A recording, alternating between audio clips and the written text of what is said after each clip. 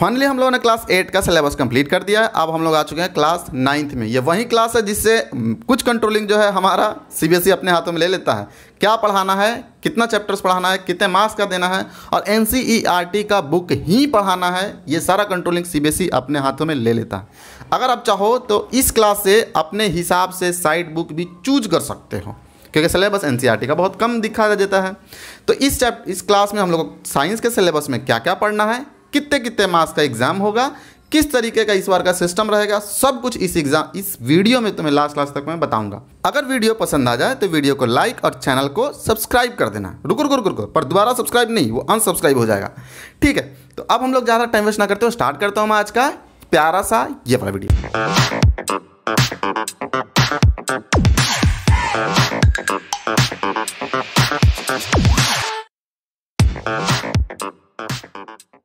जैसा कि मैंने प्रॉमिस किया है कि इस वीडियो में मैं तुम्हें एग्जामिनेशन का पैटर्न और दूसरा सिलेबस के बारे में डिस्कशन करने वाला हूँ।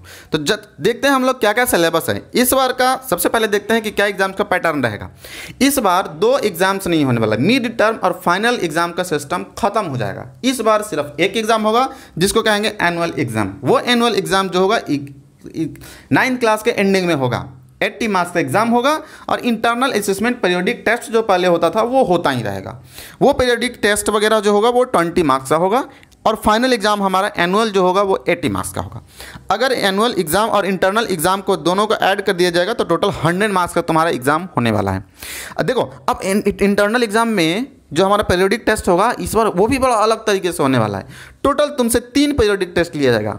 तीन पीरियोडिक टेस्ट तो तीन पीरियोडिक टेस्ट में कैसे कैसे लिया जाएगा मान लो दो को पीरियोडिक टेस्ट में दे दिया एक पीरियोडिक टेस्ट में मैं किसी शादी ब्याह में अटेंड करने चला गया छूट जाएगा एक पीरियोडिक टेस्ट तो दो पीरियोडिक टेस्ट का तुम्हारा इसमें ऐड कर दीजिएगा मान लो कोई एक बच्चा है जिसने तीनों पीरियोडिक टेस्ट दे दिया periodic test one periodic test two periodic test three पर पीरियोडिक टेस्ट टू में उसने मार्क्स अच्छा नहीं लाया नॉर्मल ही मार्क्स है तो पीरियोडिक टेस्ट वन और थ्री का मार्क्स तुम्हारा ऐड कर दिया जाएगा एक जिसमें नंबर ज़्यादा आएगा उन्हीं दो का मार्क्स तुम्हारा इंटरनल असिस्टमेंट के रूप में ऐड किया जाएगा। है ना बड़ा इंटरेस्टिंग सही बार का सिस्टम बिल्कुल। सीबीएसई को थैंक यू बोल देना और अच्छा लगे ये बात तो कमेंट बॉक्स में बताना कि सीबीएसई ने सही करा या गलत करा है। तो देखो, अब हम लोग ये जानते हैं कि फिजिक्स केमिस्ट्री और बायोलॉजी में क्या क्या कुछ पढ़ना है और ये ई वाला क्या कुछ पोर्सन है। देखो फिजिक्स का सिलेबस जो है थोड़ा सा बड़ा इस बार रखा गया है और ज़्यादा रखा गया ज़्यादा इन द सेंस कुछ भी नहीं इस बार डिलीट किया है। सब पढ़ जाना है। ज़्यादा तुम मेरे से ही पढ़ोगे, क्योंकि फिजिक्स का सिलेबस इस बार ज़्यादा है। एग्ज़ाम में जो पूछा जाएगा वो ट्वेंटी सेवन मार्क्स का एट्टी मार्क्स के एग्ज़ाम में से ट्वेंटी सेवन मार्क्स का तुम्हारा फिजिक्स आएगा ट्वेंटी फाइव मार्क्स का तुम्हारा केमिस्ट्री आएगा और ट्वेंटी टू मार्क्स का बायोलॉजी आएगा। और इन्वायरमेंटल साइंस सिर्फ़ एक ही चैप्टर पढ़ना है, वो है सिक्स मार्क्स का। एक और चैप्टर है जो तुम्हारे बुक में दिया हुआ होगा, वो पढ़ना भी है, जो कि नेचुरल रिसोर्स पर वो एग्ज़ाम में नहीं पूछा जाएगा, वो सिर्फ़ पढ़ाया जाएगा शौक के लिए। तो ये देखो, अब क्या है फिजिक्स में टोटल हम लोगों को छः चैप्टर पढ़ना है। बुक में देखोगे तो पाँच चैप्टर तुम्हें मिलेगा। कौन कौन पहला मिलेगा तुम्हें मोशन नाम से दूसरा मिलेगा force and Newton's laws of motion से। थर्ड वन मिलेगा तुम्हारा वर्क एनर्जी पावर से। लेकिन थर्ड नंबर नहीं ये बुक में अगर ढूंढोगे तो फोर्थ नंबर मिलेगा। सीबीएसई ने अपने सिलेबस में थर्ड नंबर पर रखा है।